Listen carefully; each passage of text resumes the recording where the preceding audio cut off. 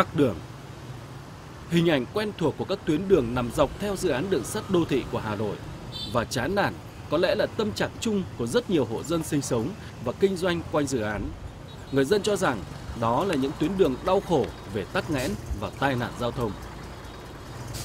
Quá ảnh hưởng và ảnh hưởng vì là đi lại, như ví dụ như đi lại là nó chặt chội như thế này, xe cộ ở đây, quá chặt chội luôn đường sắt này làm là rất là lâu mà công trình thì lề mề làm rất là lề mề mà đường xá thì nó bị à, chật trội xong rồi tắc đường sáng chiều là tắc đường tắc rất là lâu à, ảnh hưởng bụi bặm rồi ảnh hưởng rất nhiều đến đời sống của dân hai hai bên đường đây này.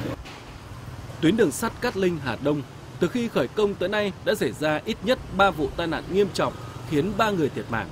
Bên cạnh đó, việc dự án đội vốn so với dự toán ban đầu và chậm tiến độ cũng gây ra nhiều bức xúc cho dư luận. Đáng lẽ là phải có một cái uh, luật là nếu anh chậm tiến độ thì anh phải đền bù uh, thế nào đó. Không? Thứ hai là đấy về mặt là người là chủ công trình nhưng mà cái bên đó là kinh phí mình phải đổ vào thế nào cho nó kịp thời phải không nó hai cái đó mà nếu không ăn khớp với nhau thì rõ ràng cái tiến độ nó vẫn cứ ì ạch ì ạch mà. Tắc đường nguy cơ tai nạn giao thông luôn rình rập. Công trình lơ lửng trên đầu tiềm ẩn nguy cơ tai nạn lao động. Đó là những hệ lụy nhãn tiền từ việc chậm trễ của dự án đường sắt trên cao.